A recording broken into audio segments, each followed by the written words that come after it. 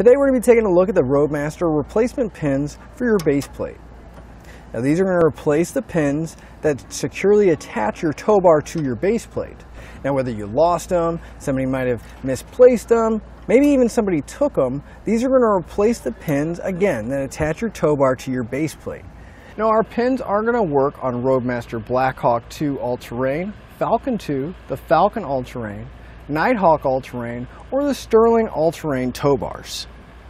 Now these pins are going to be the same size, shape, and everything as the ones that originally came with it, and they're going to work exactly the same. You're going to have that chain with the linch pin and clip on it.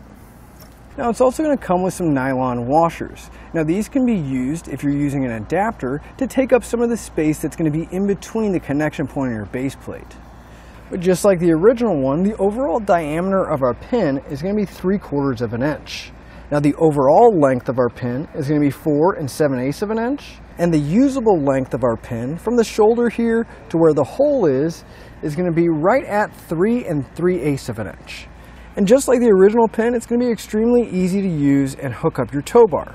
But since we are using an adapter, we are going to use those nylon washers that come with the kit so I'll slide my pin in partial way just to hold the washer in place.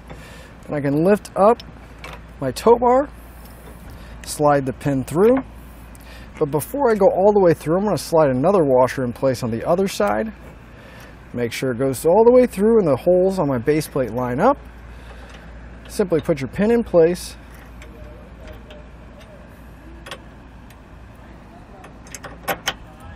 And secure it down.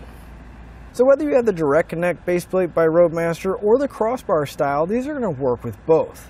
And again, if you misplaced them or you just want to have an extra set, these are going to make sure we can get back on the road and hook everything up securely. But that'll finish up your look at the Roadmaster replacement pins for base plates.